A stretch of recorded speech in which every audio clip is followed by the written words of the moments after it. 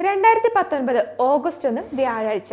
ഈ വർഷത്തെ ഇരുന്നൂറ്റി പതിമൂന്നാമത്തെ ദിവസം രണ്ടായിരത്തി പത്തൊൻപതിലെ മുപ്പത്തൊന്നാമത്തെ വ്യാഴാഴ്ച. കൊല്ലവർഷം ആയിരത്തി ഒരുന്നൂറ്റി തൊണ്ണൂറ്റിനാല് കർക്കിടകം പതിനാറ്. വേൾഡ് ബ്രസ്റ്റ് ഫീഡിംഗ് വീക്ക് ആരംഭിക്കുന്നത് ഇതേ ദിവസമാണ്. ആയിരത്തി എഴുന്നൂറ്റി എഴുപത്തിനാലിൽ ഇതേ ദിവസമാണ് ജോസഫ് പ്രീസ്ലി ഓക്സിജൻ കണ്ടുപിടിച്ചത്. ഇന്ന് ബോളിവുഡ് ചലച്ചിത്ര താരം തപ്സിയുടെ ജന്മദിനമാണ്. റോമൻ പൊളിറ്റീഷ്യൻ മാർക്ക് ആന്റണി ഓർമ്മയായതും ഇതേ ദിവസമാണ്. ഇനി ഈ വർഷം നൂറ്റി അമ്പത്തിരണ്ട് ദിവസങ്ങൾ കൂടി.